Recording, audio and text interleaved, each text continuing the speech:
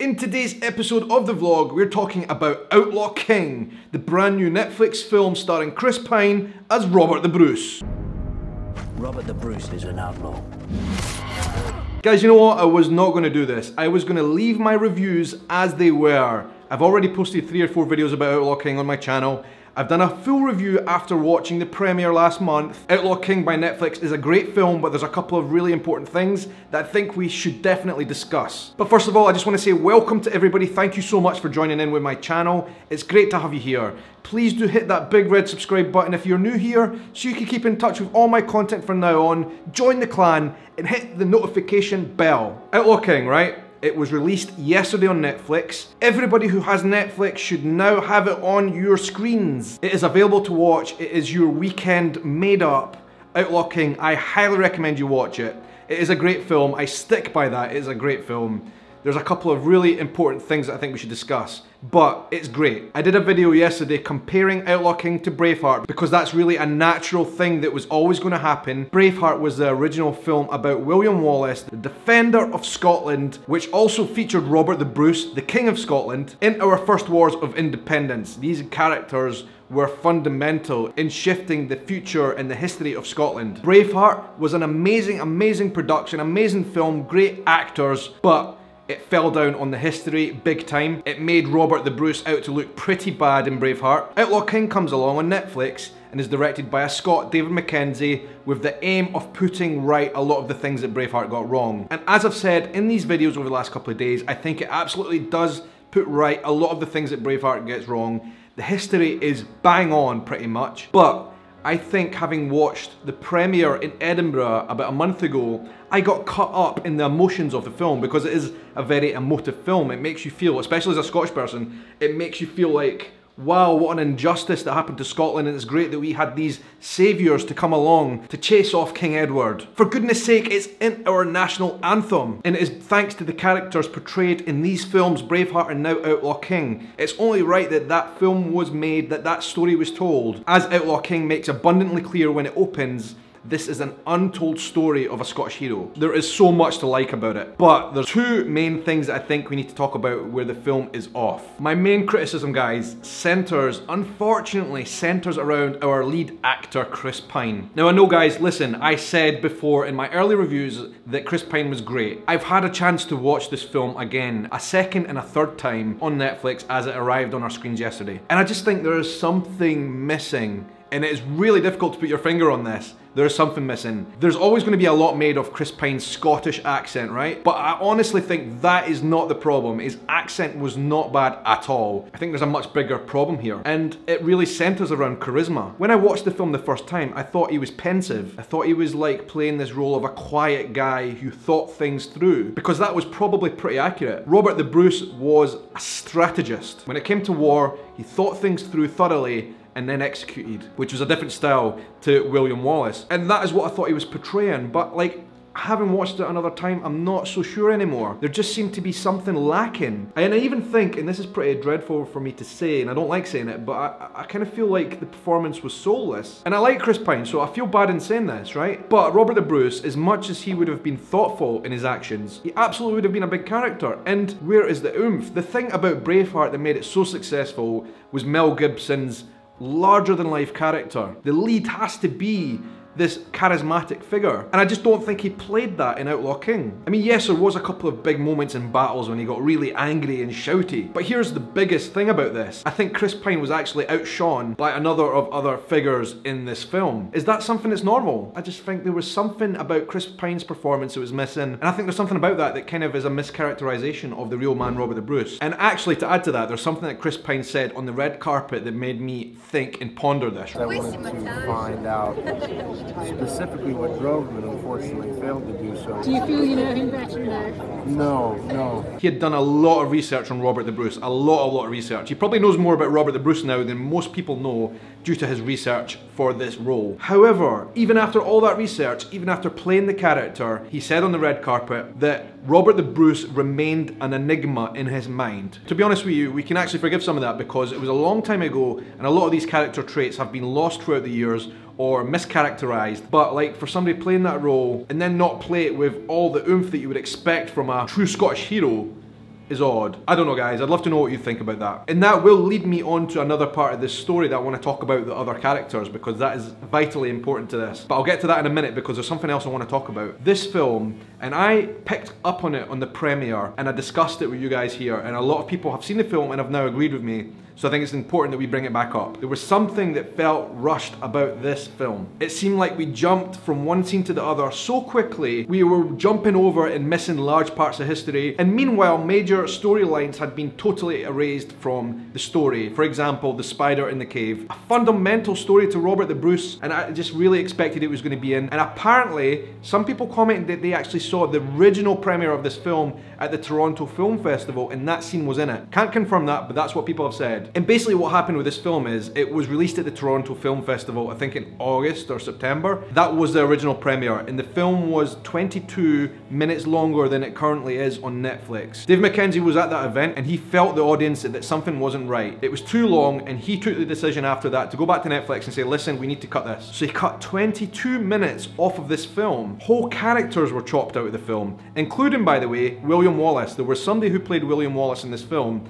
who is no longer in it that poor sod must be really upset. I do really understand that point though because William Wallace has already been portrayed in everybody's minds by Mel Gibson and anybody else coming along to play that role it would have felt weird and also it kind of takes away from the main character of Robert the Bruce. And then what I feel what we've got on our screens now is too fast and too jumpy. And I kind of got to the end thinking there is so much more in between the story that we have missed. There is so much more at the end of the story that we don't get to yet. And it just makes me think like, should this have been a series? And this is Netflix. Netflix are experts in doing series. They have recategorized what a series should be. And yet they made it into a film because they want to attack the film industry. And like, I don't know, David Mackenzie is a great director. He's done some amazing films before. He's from Scotland. He knows his stuff. And it does make me think as well though, have they set Outlaw King up to be something that could be a series because at the end it kind of left a lot of history open.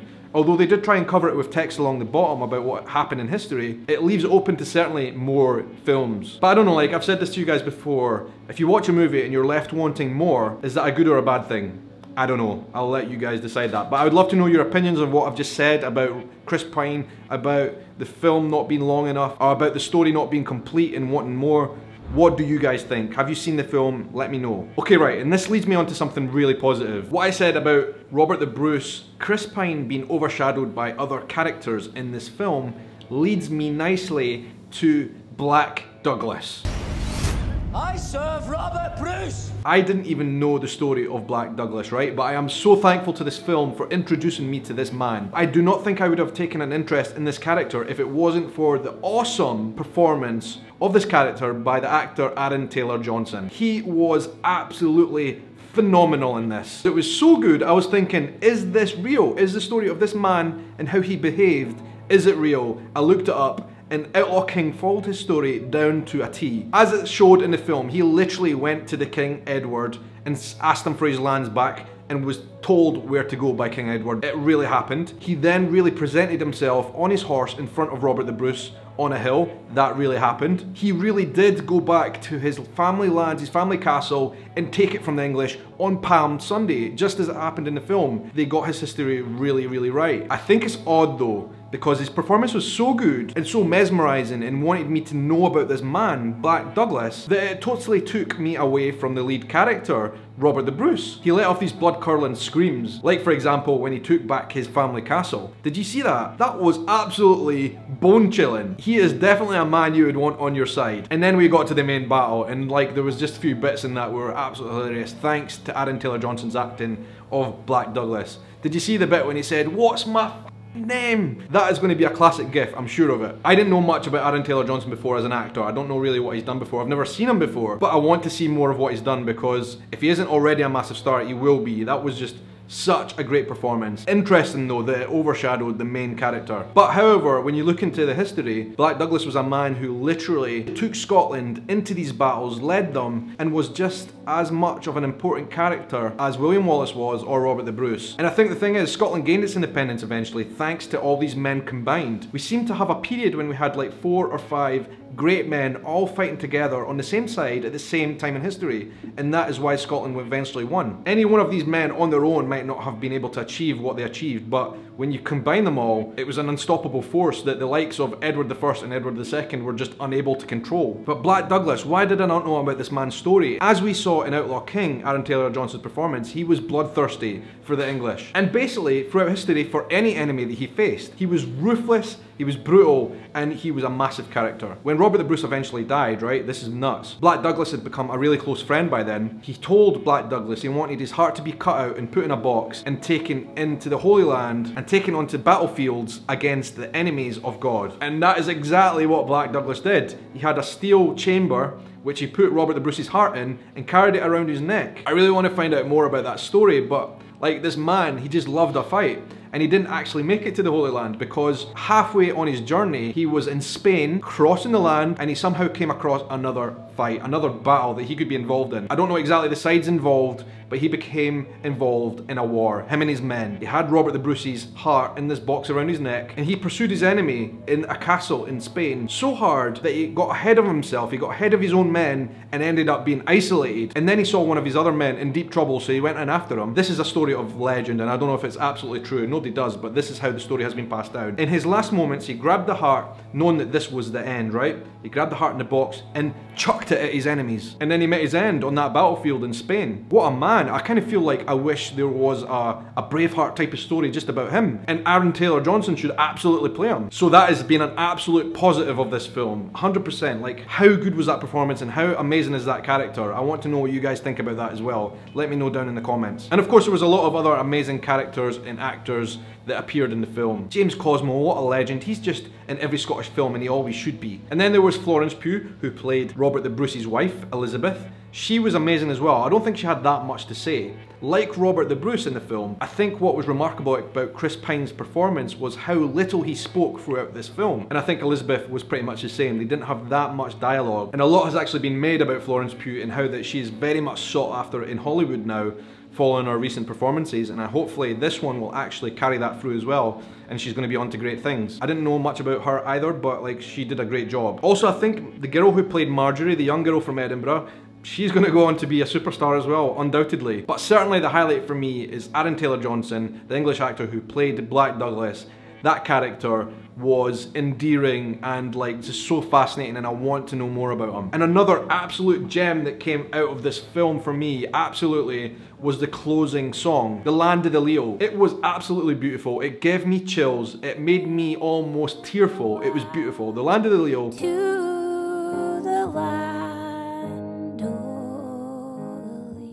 I have actually found it on YouTube and I've made it available on my Outlaw King playlist. The link for that is down below. This is my final review, guys. These were things that I thought I didn't really say properly and I had to say it and I wanted to say it. So that's why I'm doing this extra vlog today.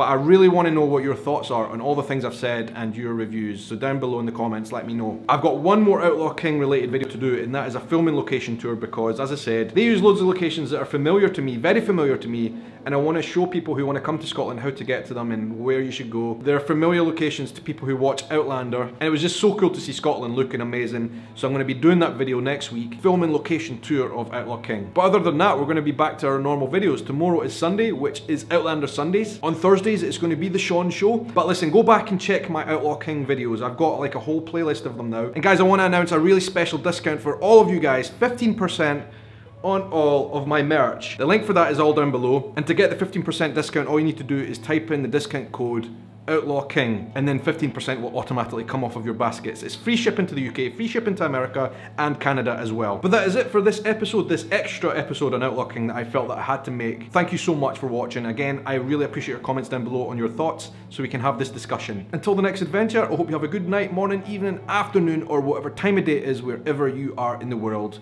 Take care.